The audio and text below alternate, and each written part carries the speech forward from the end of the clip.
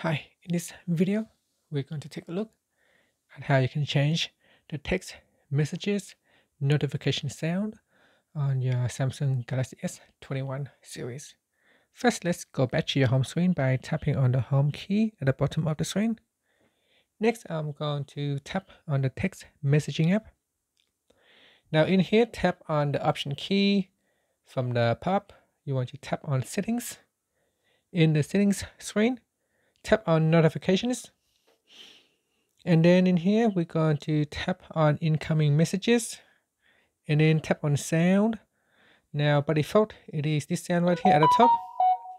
And from the list here, you can go down and choose a sound that you would like to use. So there's quite a bit of um, selection that you can choose.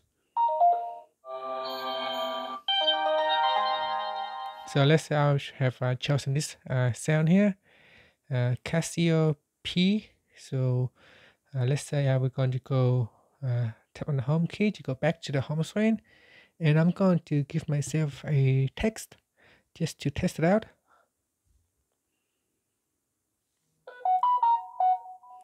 So that sound there, it still hasn't changed yet.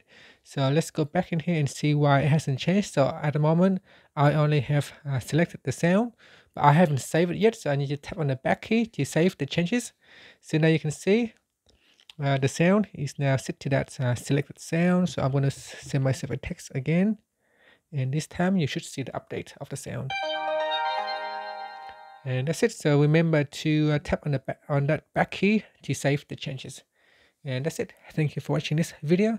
Please subscribe to my channel for more videos.